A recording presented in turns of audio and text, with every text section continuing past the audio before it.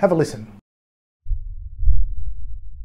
A lot of people near the epicenter reported hearing Melbourne's magnitude 4 earthquake. And that's because when you're close to an earthquake, the frequency of the earthquake energy waves are within the range of human hearing. Humans can generally hear between 20 Hz and 20,000 Hz.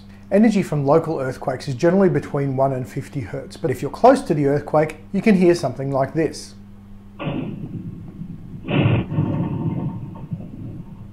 If we convert the ground motion waves into audio waves from a seismometer that was only 4 kilometres from the epicenter, this is what it sounds like.